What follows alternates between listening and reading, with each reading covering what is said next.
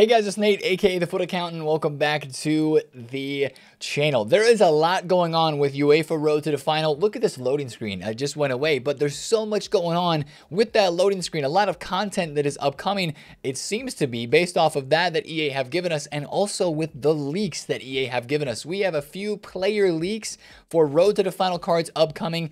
We also might be learning that there are two teams of Road to the Final. We'll talk about that and how EA have changed how they're going to upgrade these cards. No longer is it just stat boosts for teams that progress throughout the Conference League, the Europa League, or the Champions League. They're also getting some upgrades similar to Path to Glory cards did earlier this year in the World Cup. There's a lot to talk about with Road to the Final upgrades and the promos starting tomorrow, so we'll look through that. We will, of course, today as well talk about the market. We had the 86 plus campaign player pick that was dropped yesterday. A little bit of a surprise, right? We had the 82 times 20 last week. This week, EA said, hey, have some fun with a pretty decent value um, gamble player pick SBC. A lot of fun this one for sure. We're going to be able to do it again as well. Could that impact fodder this weekend? Absolutely, it will. We're going to talk about that in today's video and what to expect on the final day of Future Stars. EA still dropping swap tokens. They said 30 on their website. They're going above 30. Those store packs really are bonus tokens. So, GG's to EA for dropping a few extra tokens on this game. We expect one more today in marquee matchups. We'll talk about that and what else is going on with this market as Future Stars players are still dropping in price. Take a look at Badiashile just really quick before we get into things. This guy was 100,000 coins yesterday. Today we are looking at 80,000 coins, potentially dropping lower with pack supply and with more leaks and more hype of everything that is going to go on with Road to the Final in this game today. So if you're excited for the content and excited for Road to the Final, hit the thumbs up. And if you're new around here, hit that subscribe button. Let's talk about Road to the Final. Let's talk about these upgrades because EA Sports leaked them yesterday. Our boy FUT Sheriff with the leaks as always, posting this is how the upgrades will work this year. And there are some changes, right? It might look familiar though because instead of just getting inform stat upgrades across the line, all the way from the quarterfinals all the way up to the final. We are now getting trait, weak foot, and skill move boost just like Path to Glory. You can see if you qualify for the semis, you get three new traits, traits and a plus one inform upgrade. Qualifying for the final gets you a five star weak foot, and winning the final, it's behind me here, but it says plus one inform upgrade and a five star skill move boost. So it's actually very comparable to Path to Glory. And I don't know what you guys think about this. Let me know down in the comments. Do you like having these extra skill move, weak foot, and traits on cards, or would you rather just have the extra stats, right? I think one example that I think of and a lot of people look to is back with Path to Glory, we got Cuti Romero's center back card. Of course, Argentina went all the way. They won the World Cup. So he got a five star, five star upgrade with some stat upgrades. But if you think about it, it's like, well, do I really need five star, five star on a center back? Yeah, you maybe don't, but for all the other cards that ended up getting 5-star, 5-star like Nkunku, Griezmann, Alejandro Gomez, so many other cards are benefiting greatly and are still incredibly overpowered in this game because of those boosts that happened during that promo. So I'm a fan of the five star. Five star, of course, it all depends on what live cards from what clubs end up going to the Champions League final to get these upgrades to see if it will be a W or more of an L, right? If we get another center back with five star, five star, it's like, man, that's a bit disappointing. But, you know, if like Neymar gets a card for PSG and they somehow come back against Bayern and go all the way there, you know, that sort of thing would be insane. I guess Neymar's already 5 5, so that's not a great example, but you get what I'm saying, right? An attacker or midfielder getting 5 5 for Road to the Final card would be extra special. So that's interesting there. Now, notice something that's different with this Champions League upgrade path uh, than the other ones, right? First knockout game win after campaign launch. So if they win one game during the progression to the final, which of course, if you're going on and you're moving on, you will have to, you get a plus one upgrade. And then, of course, after that, it's just if you qualify for the next round. No more winning stipulation upgrades after that first one for Champions League cards. For Europa League and for Conference League, it's different because these are actually a part of playoffs. The games that you will watch today as a part of Europa League and Conference League are a part of a playoff to get into the round of 16. So these games, technically, if they win today, doesn't count for an upgrade, right? All that matters for the Europa League and Conference League is that they progress and get into the round of 16. So Barcelona and Manchester United, the first leg is being played today, right? That's the big game today. It's not like whoever wins this game gets upgraded or whoever wins the next game gets upgraded. It's whoever progresses into the round of 16 will get that first upgrade. And that is the big difference between the Champions League and Europa League and Conference League, just because that's how the tournaments are set up a little bit differently. But after that, everything is the exact same with the same upgrades and the same weak foot skill move boost for the traits and everything along those lines. So it's just kind of here at the beginning, it'll be a little bit different for those, uh, but at the end, it will be the exact same. So that's how the upgrades are different. I think, again, let me know down in the comments what you think. I like the 5 5 stuff. I'm a big fan of that, but let me know what you guys think down below. That's different than what we've ever had in years past because before it was just you get stat boost. You get stat boost all the way from whenever you get launched all the way till the end. So adding in that other stuff, I think it's a nice touch from EA um, especially since the Champions League final is not until like June. It's going to be TOTS time when these cards will be released anyway, so a lot of other cards will be 5-star, 5-star, so it won't seem as cool as like these cards did earlier on in the year with the World Cup Path to Glories, but it'll still make a lot of cards extra elite because of that. Now, speaking of more leaks, let's talk about player leaks. You're going to notice a theme here. There's only one type of card that is leaked so far. We're starting off with an SBC. You Road to the final Europa League Diaby, right? This is our first SBC leak and our first player leak. Uh, was this going to be our SBC on Friday? Because if it is EA Sports, you know, this is cool, but is it like that insane 80 shooting in uh, mid February? Maybe doesn't cut it, but this is a very overpowered card in this game. A lot of people would love to use a Moussa Diaby just for the fact that he has the pace, he has insane dribbling stats, and it's probably not going to be that expensive. So I'm not complaining yet. I'm just saying okay, EA, let's see what else you got. Let's keep it moving. But, uh, you know, that to me didn't hit like super duper insane. But the rest of the cards that have been leaked so far, they're also all Europa League. Take a look at Martinelli. He is going to be coming in this team as well. Stats are a prediction for all of these, but 95 pace, 90 dribbling, 85 shooting, 84 passing would be very, very nice for a Brazilian left mid in the Premier League. That's a pretty big name, probably the most hyped league that we have at the moment. Chiesa is up there with him, though. Another Juve player, another Chiesa special card. This one would be massive as well. Now, notice what's in these leaks, right? He says team number one. Last year with Road to the Final, we did not have a two week promo for this. It was only a one week promo, but it looks like this would confirm that it is going to be two weeks. Now, the only question and the only contradiction we have to that is is he saying team one because he's being told team one, the leaker FUT Sheriff that is, or is it actually just going to be one massive team like we saw last year? Because last year, Road to the Final, and even in previous years of FIFA, there were there were so many cards, right? It was more than a normal team of like a team of 11 players with a mini release on Sunday to get us to like 14 or 15, right? It's not normal size promo teams when it comes to Road to the Final. So is it really going to be two teams? I think it is if he's leaking it that way, but just kind of that's something in the back of my mind as we take a look at these leaks. Here's another player, Kevin Volland, and those are all the leaks we have right now. Just a few Europa League cards, which is so interesting. Either he's choosing to leak these cards first, and there are other leaks that we're going to see today, or maybe this team one is going to be Europa League heavy. Um, I don't know. It's really confusing as to what we have seen right now with some of these leaks. But so far, Chiesa is a solid name, Volland's a decent name, and uh, Martinelli's a pretty big name as well. So hopefully he keeps releasing some pretty big name leaks and we start to get some of the Champions League players, uh, of course, inside of this as well. That is what we'll be looking for with this leaks. Watch out for more of those today. I would imagine he's going to be dropping some on Twitter. Um, and today will be a pretty big day of hype looking for the road to the final players. Now, last thing really quick here is the loading screen. And we might even just go over Twitter to look at this because you know, the loading screens disappear so fast anyway. But this loading screen was dropped yesterday. It's a screenshot from the stream yesterday. Um, and there's a lot going on here. We have a car design. We have got right here uh, this is probably the Champions League man of the match car design, which means they're going to be dropping man of the matches during Road to the Final, which is dope. We love that. And then we have two player SBC here. We have like a player SBC and then like a another one. I don't know what's going on here. And then all the way over to the far side, we've got a flashback card design. We've got two different packs, and then we have the three promo card designs in the middle there's a lot going on in here. I don't know what EA is really trying to say. The only thing we can really decipher is that we're going to be getting player SBCs, man of the matches, and other road to the final SBCs. During this promo, it looks like EA is going to make a big spectacle out of all this, which is exciting. But also, it's like, okay, EA, you got me interested now with this loading screen. So tell me more, right? Show me the content you're going to drop during Road to the Final.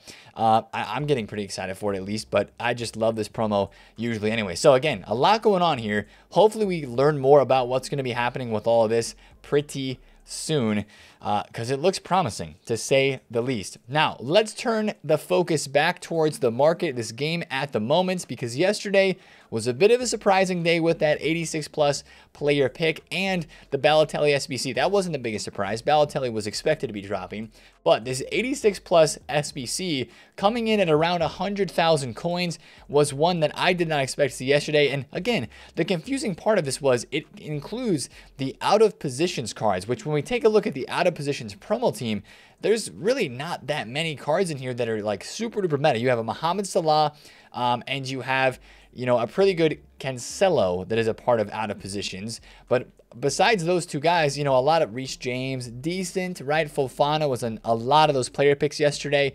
Um, I mean, to be honest, this player pick and this content from EA is just flat out fun. So I'm not complaining. I'm just confused as to why the out of position players were included in this player pick. But as you can see, 97,000 coins right now on Futbin, 72% upvote.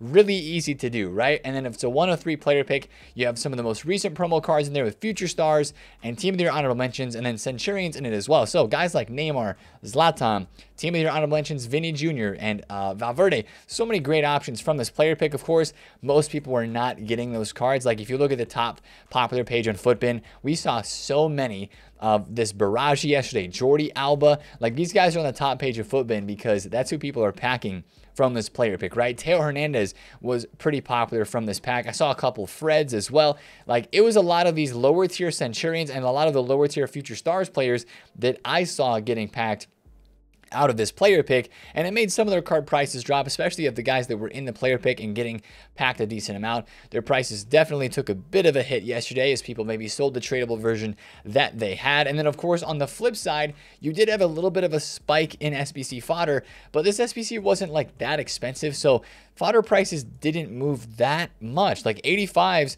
uh, with this only being a one squad requirement, it was like 86s with an 85 rated squad. You know, these guys went up a little bit, but not that much. 86s had a bit of a spike, 83s had a little bit of a spike as well, um, but it just wasn't anything that moved the market a crazy, crazy amount. 83s are up two and a half thousand coins or a little above that yesterday.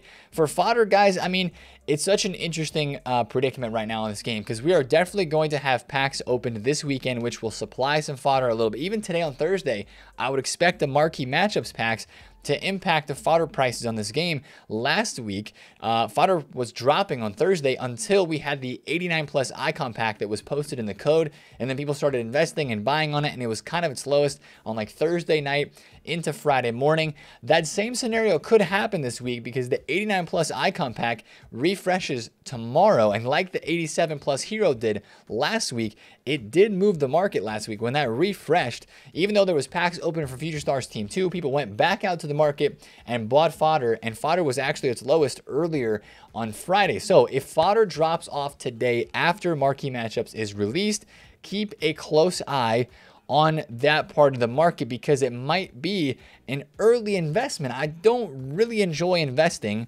in fodder that much before a promo Friday where there's going to be a lot of packs open and we don't know what packs E are going to drop. So it's always a little bit of a risk uh, to do that anyways, but just keep a close eye on the fodder market because maybe if there's a bit of a spike today at content time, after that I could see some prices falling with supply and with people, you know, usually trying to sell fodder before we get to a Friday with the supply that would be out there. So watch your 91s, watch your 88s. They're down a bit, right? 31,000 coins for Modric. These guys were higher, you know, earlier in the week for sure.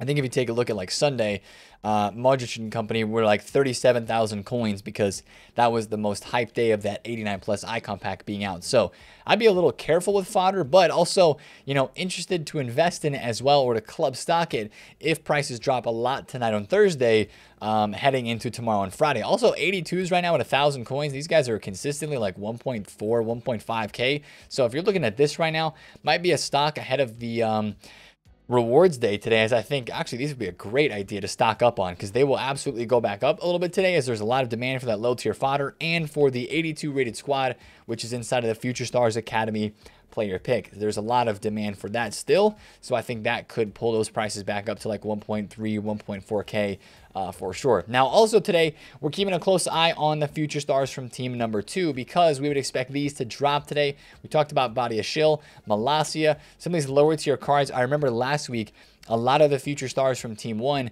dropped off on Thursday because of the marquee matchup supply. And since there will probably be a token in today's marquee matchups, once again, our final token, the 30th token that technically will have been released on either swaps, objectives, or SBCs, and the 33rd token overall. Now, the reason we say this is because yesterday in objectives, we had a bit of a surprise token with the um, Silver Stars token being released. EA said on their website that they were going to release 30 tokens. They said nothing about bonus. They said nothing about store tokens, but I guess we have always we are always going to assume now that store tokens are extra and not a part of whatever they say they're going to drop because they dropped two more yesterday, which took us to 32 in total, counting the store tokens. Um, and so we're guessing we're going to get one more today because we have had three different token packs during the Future Stars promo. So watch out. There will be more demand for people to do marquee matchups today. And that to me would probably mean some of these guys are going to keep dropping off. I just saw like um, there must be, have been a little bit of panic selling before we had rewards day because Jurrien Timber was down like 220. He's now back at like 230,000 coins. So he is back up a little bit. Enzo Fernandez was just a little bit lower, and so was um, Kvicha. Kvicha was like 610 or like 600k flat, and now he's back up to about 615. So, you know, some of these cards have gone down for sure. Malacia is down. I would expect to see the lower tier get hit the most today. How much is Malacia? He was like 340 yesterday. Is he still like 340, 350? Yeah, 340, 350. I still believe that this card's very overpriced. I still think he is going to end up dropping off today, as will some of the other Future Stars cards. But with all the content that is on that loading screen, and of course, it depends a lot on the leaks today, I really think. Um, we'll see. I don't, I don't expect a big time market drop off, but some of your prices have just kind of slowly floated up, right, throughout the last couple of days, or they've stayed the same. Uh, for out of packs cards, since we got to Sunday, right? We saw that nice Monday market rise and prices have kind of been pretty stable since then. We'll see if today that changes at all with Road to the Final news and maybe some leaks and maybe some more information about that being dropped on this game keep a close eye on the market, but I wouldn't expect any super crazy movements today. I do believe today will be a pretty quiet day of content. The only SBC that is leaked today, and it's kind of like a guarantee to be dropping today, is Hamed Traore uh, is coming as a Future Stars SBC player. He is a Premier League left mid, another Ivory Coast SBC, which is kind of cool, right? A lot of Ivory Coast links recently you could put together um, with especially some of the cards we had last week um, and previously in FIFA for sure, like the Fofana SBC. I mean, uh, specifically, but that could be a fun card. Probably going to be pretty cheap. Again, I think it's going to be a quiet day of content today with that SBC marquee matchups, and that's probably going to be about it. Now, let's talk market in terms of team of the week a little bit. Ronaldo did get into the team of the week, and a lot of the link investments to him dropped off like crazy. Because again, it was a, a, whenever we get an inform for a Ronaldo like this, yes, there is hype, but you're only getting a plus one overall. You're getting plus two pace, plus two passing. Not that big of an upgrade. So prices for his card actually ended up falling a little bit. And then Ben Yedder got into the team of the week. So that means hopefully the player of the month Ben Yedder that we will see dropped in game this coming Monday will be 89 rated. Fingers crossed. Um, and thank you, EA, for doing this because you might have just given us an even better uh, Ben Yedder Player of the Month SBC coming next week. So that's nice. Di Lorenzo and uh, Luke Shaw, some really nice cards in this team of the week as well, as also Frimpong linking to that Diaby leaked SBC. Just be careful with these guys' prices. You guys know the drill. Team of the weeks are always your most expensive on Wednesday and Thursday. And then once we get to Friday, they start dropping off a lot. So specifically this Di Lorenzo um, and the Luke Shaw, I think they're going to get packed a decent amount and drop off a lot in price here pretty soon. Just keep a close eye out on those guys on this game at the moment. And then Balotelli yesterday, I got to have a couple words about this card. I tried the Balotelli SBC yesterday, and on paper, this card looks really good. And maybe it's a skill issue, man. If you guys have used him, tell me how you like him. I thought this card was woeful. He was fun because he's lengthy. I put a hunter on him, still lengthy, right? his shooting was just absolutely awful for me. Like I was green timing shots on his four star weak foot, and they were like going completely off uh, not even close to being on target, and just felt like he was a little bit jammy, which is a good thing, right? Five star skills was nice. His 99 strength is really, really nice, but I just felt like he could not score goals like at all. So, besides heading, he was really good at heading, but I don't know. That was just my opinion, but it was a really fun SBC to do. I'm not complaining about the content at all because this is really, really a dub from EA Sports, uh, especially with the five star weak foot and the upgraded. Um, work rates in game as well. He's got the high low or high medium, whatever it was, high low. So that's a W, but I just could not get along with that card yesterday. And it was actually painful uh, for me to try to use that card in uh, some of the friendly games, which I'm still ca catching up on at the moment. But there's a lot going on in this game right now. We're going to talk more about it tomorrow. Hopefully, we get some new information today with Road to the Final, with everything that is going on and uh, maybe some more leaks because there's probably going to be more leaks today. We'll hopefully get some big name players and some excitement rolling for Road to the Final. Continued excitement rolling for that promo starting tomorrow. So if you enjoyed the video today, smash a thumbs up on it, comment down below if you have any questions, and subscribe if you are new. That's the news in FIFA 23. I'll see you guys in the stream today. I'm out. Peace.